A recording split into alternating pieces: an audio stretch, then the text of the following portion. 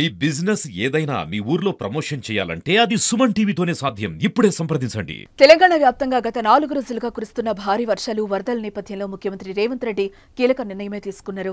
వరదల్లో చనిపోయిన వారి కుటుంబాలకు ఎక్స్గ్రేషన్ పెంచారు.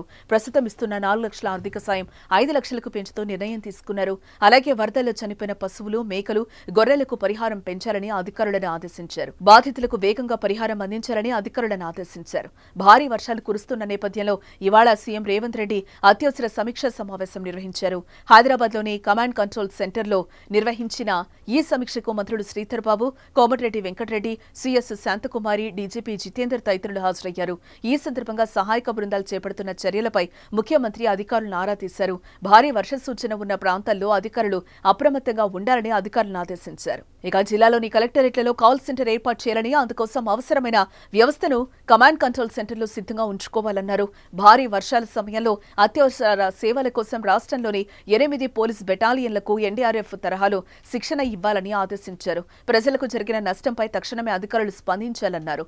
వర్షాల సమయంలో హైదరాబాద్లో ట్రాఫిక్ సమస్య తలెత్తకుండా కమిషనర్లు చర్యలు తీసుకోవాలని వర్షాల కారణంగా దెబ్బతిన్న రోడ్డును తక్షణమే మరమ్మతులు చేయాలని సీఎం ఆదేశించారు. భారీ వర్షాలతో ప్రభావితమైన ఖమ్మం భద్రాద్రి కొత్తగూడెం మహబూబాబాద్ సూర్యాపేట కలెక్టర్లకు తక్షణ సాయం కోసం ఐదు కోట్లు మంజూరు చేశారు.